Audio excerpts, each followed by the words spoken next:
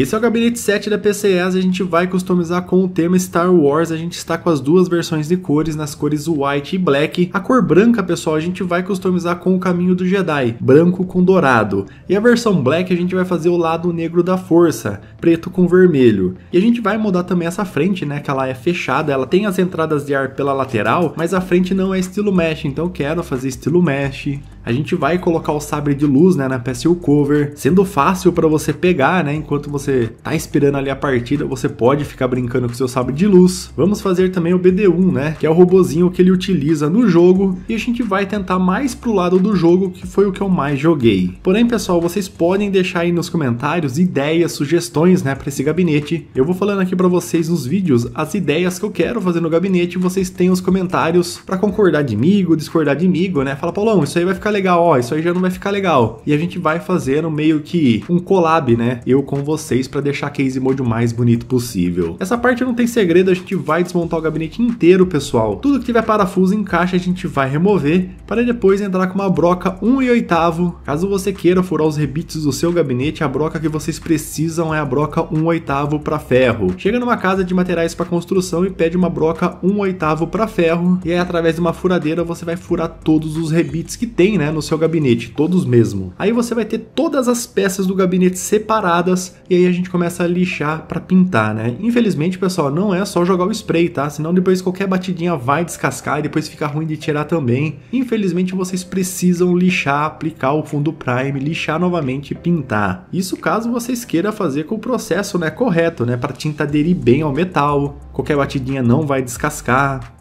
não vai riscar fácil, né? Mas caso vocês queiram lixar e jogar, né, o spray da cor que vocês acharem melhor, pode, mas qualquer batidinha vai começar a descascar. Então o jeito correto seria lixar primeiro com uma lixa 600. Então a gente vai utilizar uma lixa 600 a água para riscar bem mesmo, para depois a gente entrar com o prime. Essa parte é bem chata, eu também não gosto de fazer, pessoal, mas precisa lixar bem. E como você sabe, né, que você lixou super bem? Quando a peça perde o brilho, como a gente tá lixando com água, às vezes a gente não consegue perceber que ela tá perdendo perdendo o brilho, mas assim que a água seca, né, você consegue perceber que realmente ali fica os esquinhos da lixa, né, e ficou totalmente sem brilho, aí tá ótimo.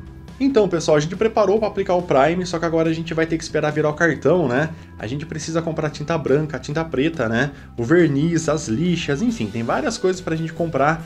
Tem que comprar também mais PLA para a gente continuar, né? As impressões 3D. Então, só lá, mais ou menos para dia 11, dia 12 que vira meu cartão, tá? Ah, tem que trabalhar assim, pessoal, sempre na virada do cartão. A gente fez três sabres de luz, por quê? O primeiro eu fiz muito grande, tá vendo? Ele ficou maior, né? Que a lateral da PSU Cover, então eu fiz com 90%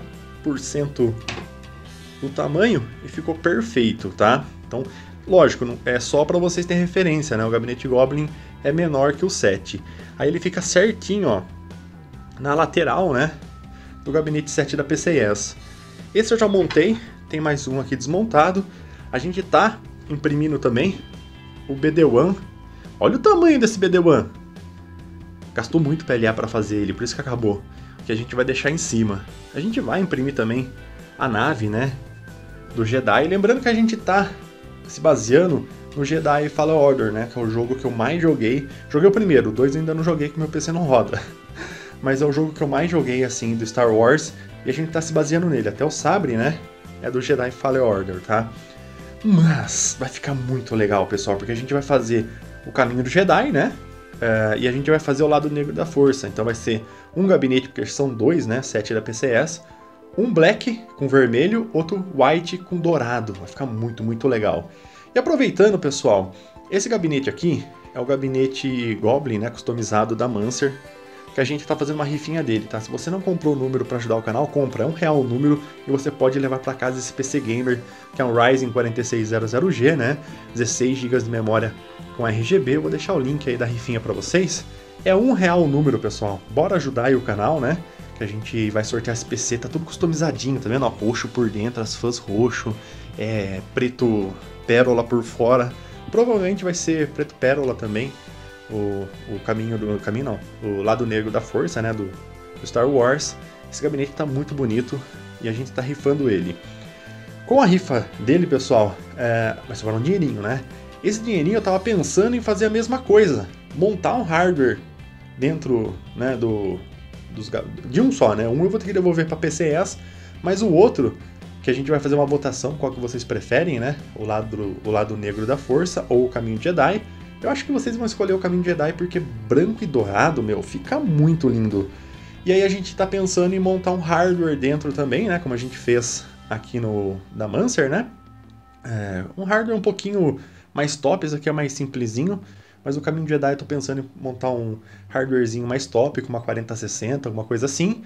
E aí a gente vai rifar também. O que vocês acham? que vocês... É que assim, essa rifa tá um pouco devagar, né? Mas logo logo eu vou começar a mostrar a performance desse PC nos jogos, então acho que ela vai dar uma deslanchada. Mas o que vocês acham de no lugar de vender só o gabinete, né? Só o gabinete customizado, já montar um hardware e fazer uma rifinha?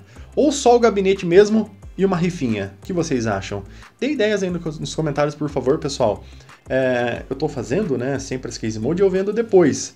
Só que eu ganho muito pouco, né? Com a rifinha eu consigo colocar uma margem um pouquinho maior, mas eu não sei se eu faço o PC todo, né? Ou se eu faço só o gabinete, tá?